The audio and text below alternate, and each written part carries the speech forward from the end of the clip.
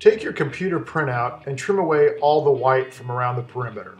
Line up the edge of the image with the edge of the trimmer. Then trim off all four sides. Of course, if you don't feel comfortable using the trimmer, you're always welcome to use a scissors. Remember to always put the trimming bar in the down position when you finish using the trimmer.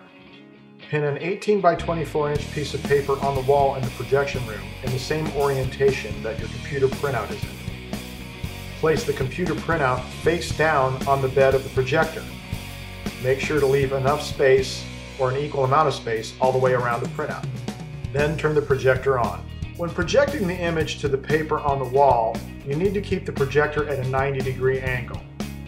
If you don't keep the projector at a 90 degree angle, for example, here you see it's tilted downward, then what will happen is this edge here gets projected at a shorter distance to the wall than the bottom edge does, thus resulting in a skewed image that looks like this. Likewise, it needs to be at a 90 degree angle both left and right from the top view.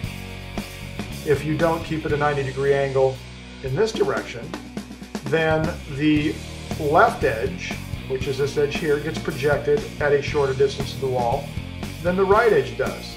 And now your image will be skewed in this direction. So rather than tilting the projector, you can adjust its height uh, as we're showing you here.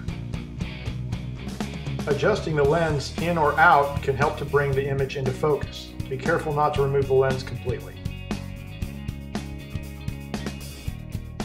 You can also adjust the size of the image by moving the projector either away from the wall or closer towards it.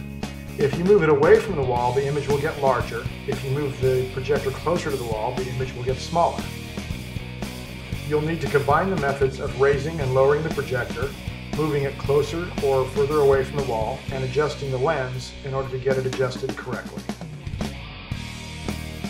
Here we're showing you again how not keeping the projector 90 degrees to the wall can skew the image.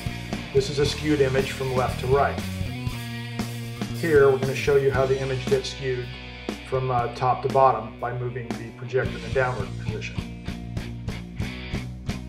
Once the image is correctly projected onto the paper, then all you do is trace around the gray, the black, and the white areas. When finished tracing, take your drawing back to your table and compare it to the printout and make adjustments as needed.